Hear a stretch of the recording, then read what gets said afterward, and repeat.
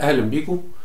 آه، المحاضرة اللي فاتت لما ابتدينا نتكلم على what is project management اتكلمنا عن آه، شوية حاجات ويمكن أكتر حتة وقفت عندها آه، كانت ال management إزاي ت manage تعمل management للناس عن طريق إن أنت بتوزع مهام وبتاخد feedback دلوقتي عايز أخش على نقطة تانية الحقيقة اتكلمنا فيها قبل كده ووقفنا عندها بس هنقف عندها تاني.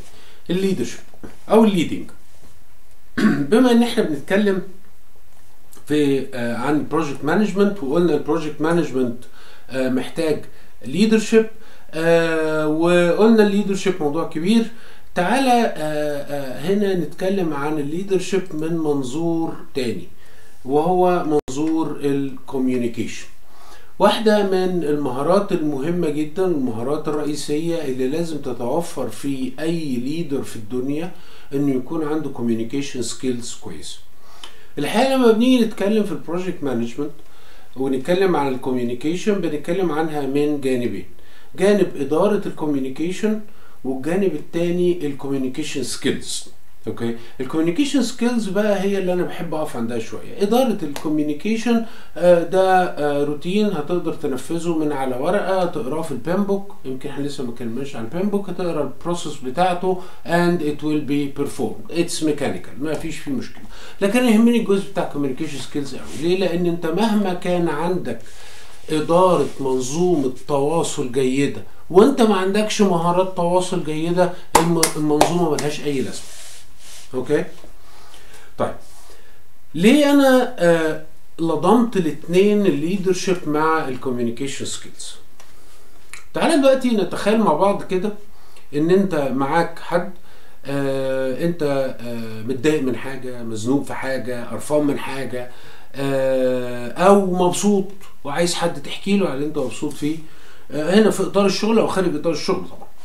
ولقيت واحد كده قعد جنبك وابتدى يسمع لك وانت بتتكلم وأبدأ اهتمامه وأبدأ تفهمه آه وخلق بينه وبينك قنوات تواصل خلاك تقول كل اللي جواك وانت مبسوط ومستريح.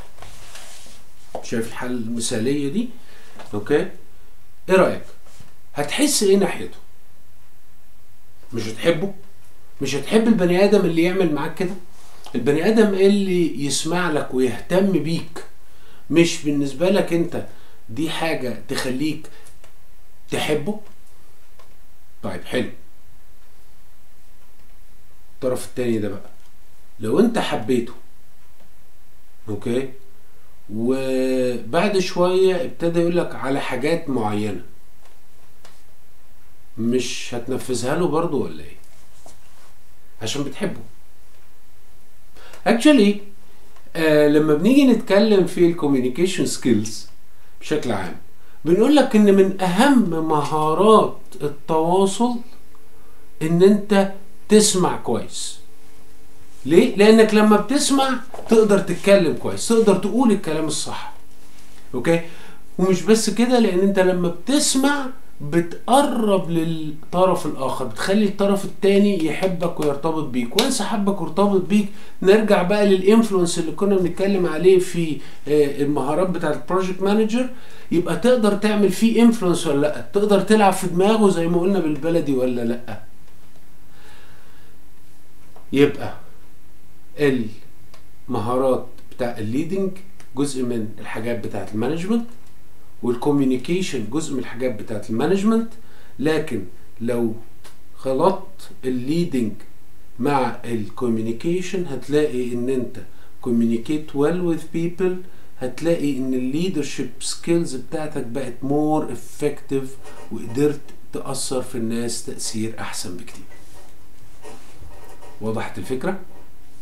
طيب نروح بقى نتكلم على آخر نقطة في ال project management وهي ال controlling ال controlling الحقيقة آه، ساعات بحب أحط عليه آه، حتة كده آه، فيها شوية آه، يعني حتة سايكولوجي حتة فلسفة okay؟ الحقيقة كلمة controlling ليها معنى مهم.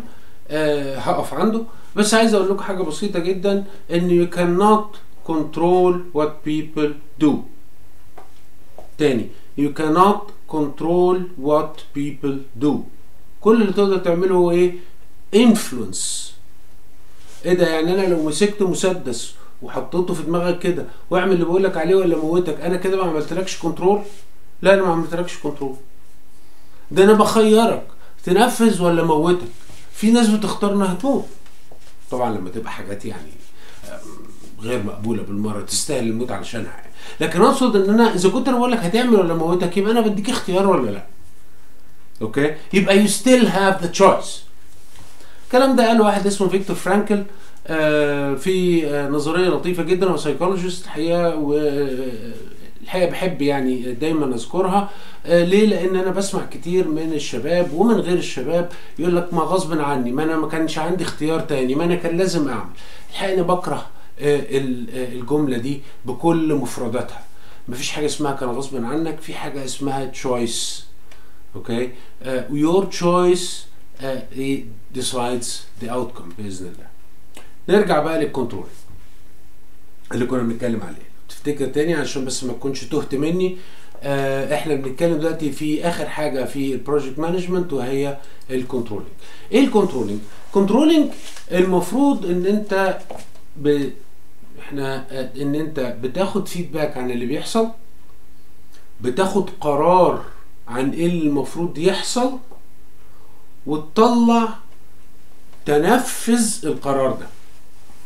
ثلاثة steps أي control system في الدنيا فيه ثلاثة steps حتى لو أنت بتدرس control theory يقول لك sensor controller actuator sensor controller actuator ال sensor أو المرحلة الأولى إن أنت بتلم بيانات بتعرف إيه اللي بيجرى من خلال إيه؟ من خلال PIs فاكرين ال KPIs ال key performance indicators اللي اتكلمنا عنها قبل كده؟ من key performance indicators you're getting data دي ال sensors بتاعتك. دي اللي بتقول لك إيه اللي بيحصل في المشروع بتاعك.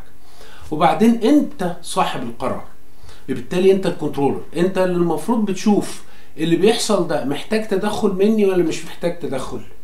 لو الدنيا ماشية كويس مش محتاج تدخل. fine great والله لا الدنيا الحق صحيح ما فيش مشاكل جامدة لكن شكلها كده رايح في اتجاه وحش لما نلحق نعدل فيها. يبقى تاخد قرار.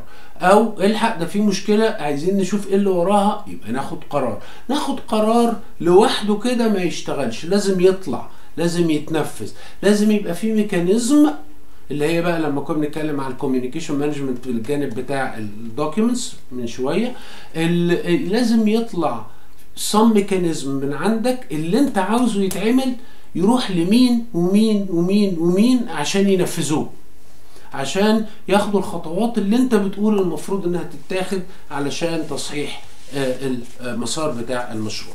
طبعا دايما في ال control ودايما في ال decision making ودي حاجة دايما برضو بندرسها في ال course بتاع ال decision making هو إن أنت لازم تستشير الناس اللي هتنفذ. مفيش حاجة اسمها فرمان كده ولا واللي بقوله هيتعمل. Okay؟ الكلام ده يحصل في يعني في حالات نادرة جدا جدا جدا جدا. لكن الأصل دايما إن أنت بتلم الناس يا جماعة الحقوا في مشكلة نعمل إيه؟ okay؟ وتاخد القرار وتطلع ال mechanism بتاع التنفيذ وتطلع قرارات تمشي في ال mechanism بتاع التنفيذ وتتنفذ فبالتالي تحسن أداء المشروع بتاعك. إحنا في الفيديوهين دول اتكلمنا بسرعة في what is project management آه ويمكن في نقطتين وقفنا عنهم فترة حتة ال control إزاي بيتعمل وحتة ال influence آه اللي هي آه sorry ال communication اللي هي برضو ربطناها بال influence في ال leadership آه وبرضو ما تنساش ال managing هات وخد okay؟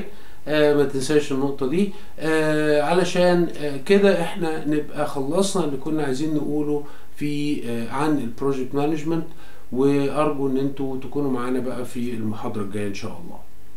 شكرا.